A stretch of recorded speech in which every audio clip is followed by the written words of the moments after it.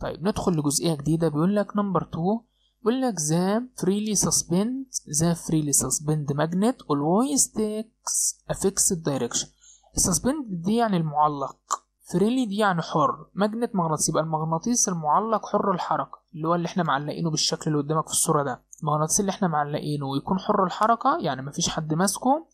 ماشي؟ always دائما takes a fixed direction. دايما ياخد اتجاه ثابت زي ما إحنا شايفين كده. يعني هنجيب مغناطيس ونعلقه بخيط ونقوم جايين محركينه وهزينه بالراحة كده نحركه. ونسيبه يثبت لوحده. مش هنوقفه إحنا. لك هتبص تلاقي إن القطب الشمالي خد اتجاه لوحده كده ثابت مع القطب الجنوبي خد اتجاه ثابت. هتقول لي ممكن يكون هو واقف كده وخلاص. هقول لك طب جربها تاني كده حركه مرة تانية وسيبه برضه يثبت لوحده. هتلاقيه خد نفس الاتجاهات دي تاني. طب جربها مرة تالتة كمان. هتبص تلاقيه واخد نفس الاتجاه تاني. إيه الحكاية؟ تعالوا كده.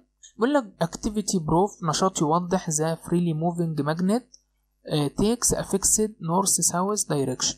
uh, تجربة توضح أن المغناطيس حر الحركة uh, يأخذ اتجاها ثابتا وهو اتجاه الشمال والجنوب. بيقول لك move the magnet to the right side or left side slightly then leave it to stabilize stabilize again. بيقول لك حرك مغناطيس يمة اليمين والشمال بالراحة يعني قليلا slightly قليلا. Then leave واتركه to stabilize to stabilize again. وسيبه يستقر. Repeat the previous step. وكرر الخطوة السابقة for several times لعدة مرات. الاوبزرفيشن بتاعتنا بقى نلاحظ إيه لما إحنا عملنا كده؟ قال لك in each time في كل مرة one pole of the magnet tries to search for the north direction of the earth. نلاقي ان في قطب من المغناطيس دايما يبحث عن اتجاه الشمال. While the other pole والقطب الآخر tries to search for the south direction. دايما يبحث عن اتجاه الجنوب. ال inference بقى اللي هي ال conclusion بتاعنا الاستنتاج.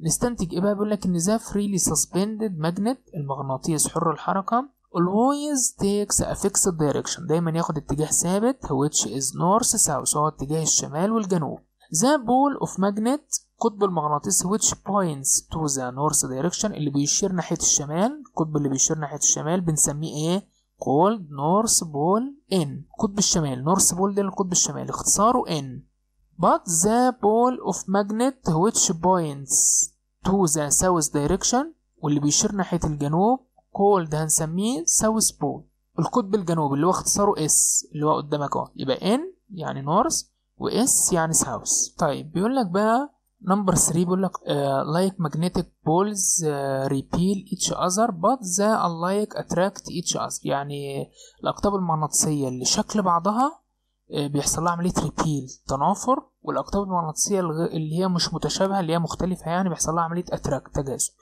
تعالوا كده هناخد نشاط بيقول لك steps الخطوات بيقول لك bring two bar magnets يعني أحضر مغناطيسيين هنجيب اتنين مغناطيس and hang one freely وهنعلق واحد hang دي يعني علق احدهما freely حر by thread بواسطة خيط.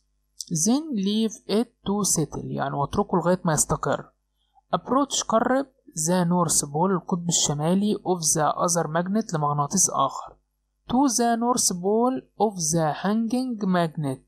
قرب القطب الشمالي للمغناطيس بتاع انت ماسكه في ايديك. للقطب الشمالي بتاع المغناطيس اللي انت معلقه. هتلاحظ إيه؟ هتلاحظ two north القطبين الشماليين repel each other. تنافروا مع بعض. repel دي يعني تنافر. number 3 بيقول لك approach the south pole. قرب بقى القطب الجنوبي of the magnet to the south pole. Of the hanging magnet. قرب القطب الجنوبي للمغناطيس اللي انت آه ماسكه مع القطب الجنوبي للمغناطيس اللي انت معلقه. إيه اللي هتلاحظه؟ برضه هنلاحظ إن the two south poles القطبين الجنوبين repel تنافروا برضه each other. number 4 approach the north pole قرب القطب الشمالي of the magnet للمغناطيس to the south pole of the hanging magnet للقطب الجنوبي بتاع مغناطيس المعلق. نلاحظ إيه؟ إن ال north pole القطب الشمالي attracts بقى هنا. انجذب to the south pole للقطب الجنوبي. اذا بقى يبقى اذا لما أجي أقرب شمالي north pole مع north pole يحصل repel ولما أجي أقرب south pole مع south pole يحصل repel برضه تنافر لكن لما أجي أقرب north pole قطب شمالي مع nor مع south pole يحصل attracts تجاذب. يبقى إذا ال inference بقى ال conclusion بتاعنا الاستنتاج the similar magnetic poles الأقطاب المغناطيسية المتشابهة repeal تتنافر each other. But the opposite but the opposite magnetic poles لكن الأقطاب المغناطيسية المختلفة اللي هي opposite المتضادة attract تتجاذب each other. طيب ده كده قانون التجاذب والتنافر. تعالوا كده ننقل على الخطوة رقم أربعة أو النقطة رقم أربعة من, من البروبرتيز بتاعة المغناطيس.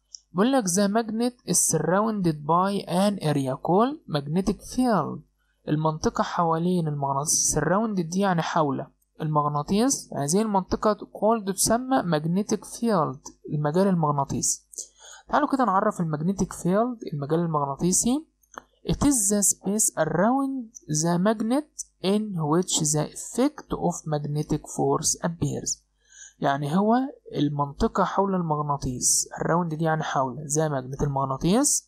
which the effect magnetic force appears اللي بتظهر خلالها التي تظهر خلالها آثار القوة المغناطيسية. effect دي يعني آثار أو تأثير. magnetic force القوة المغناطيسية.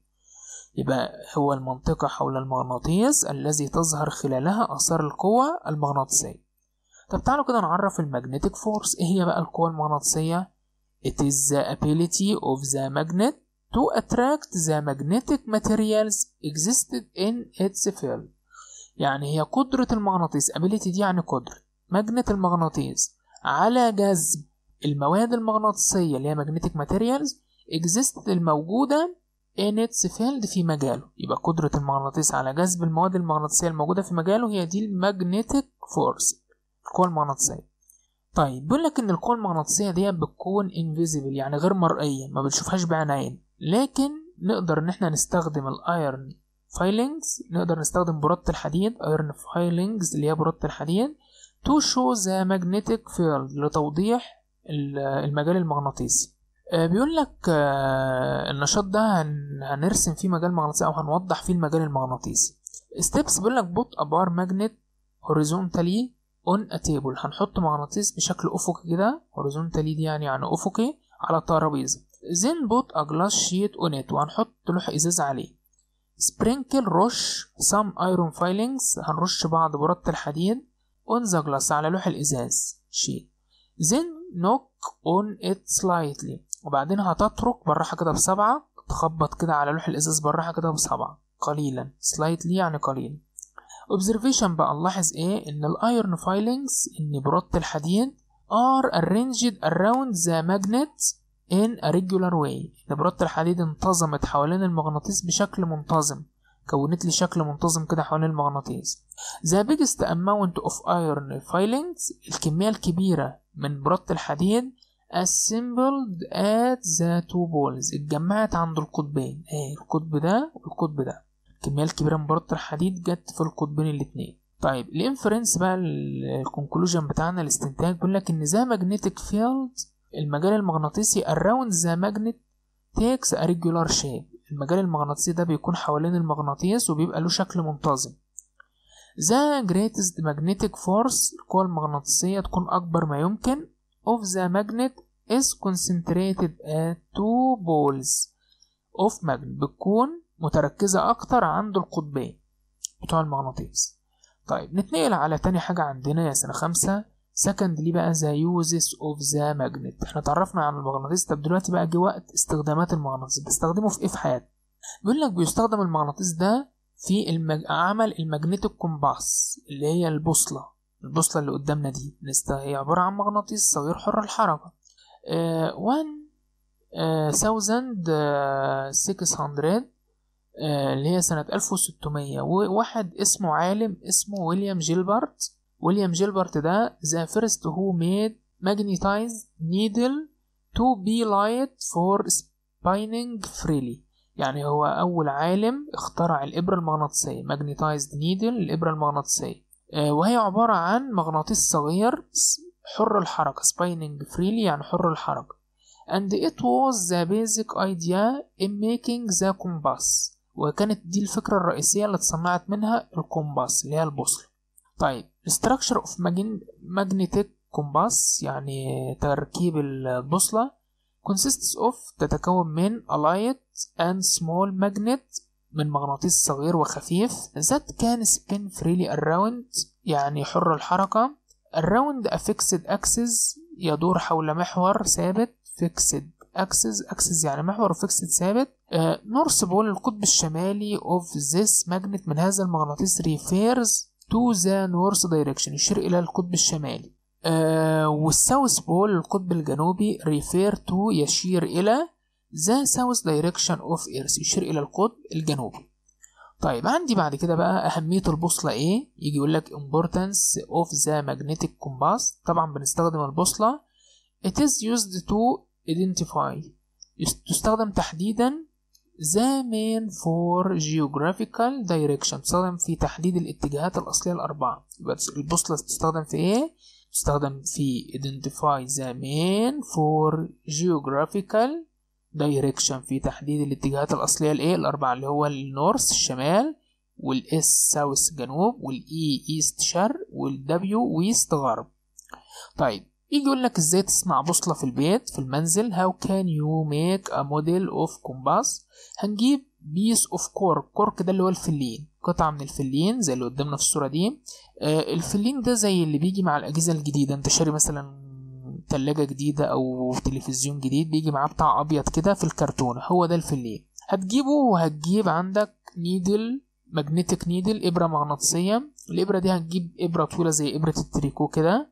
وهتقوم جاي اعملها مغناطيس. إزاي هتجيب مغناطيس؟ عندك وتمسك الإبرة تقعد تمشيها على المغناطيس. رايح جاي كده مش رايح جاي لا يعني تمسكها تعديها على المغناطيس مرة كده وبعد كده المرة التانية وبعد كده المرة التالتة والمرة الرابعة.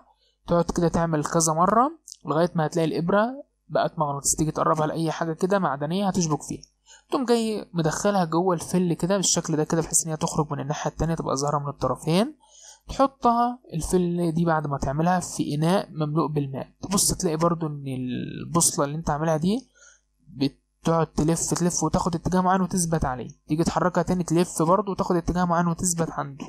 يبقى بيقول لك of cork with the magnetic needle هنجيب إبرة مغناطيسية وقطعة من الفلين floats تعوم أو تطفو freely then stabilizes ديت اللي هي تستقر ثم ثم يعني هتستقر بعد ما تتحرك هتستقر where it takes the north south direction. وهتاخد برضو اتجاه الشمال وإيه؟ والجنوب.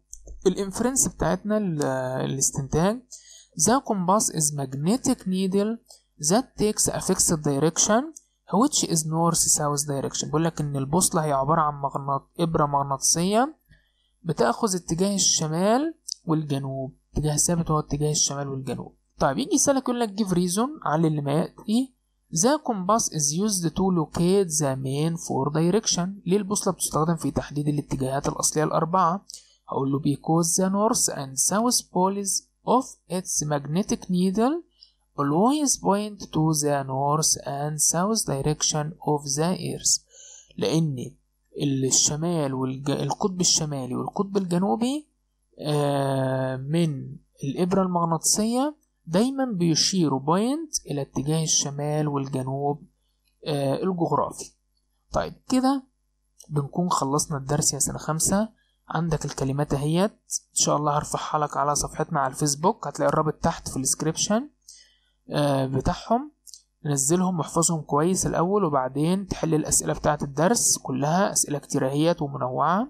ولو أي سؤال وقف قدامك معرفتش تحله ابعتهولي إما في رسالة comment تحت الفيديو. أو ابعتولي على صفحتي على الفيسبوك وإن شاء الله هجاوبك عليه. وما تنساش subscribe لل... للقناة وتعمل like للفيديو. والسلام عليكم ورحمة الله وبركاته.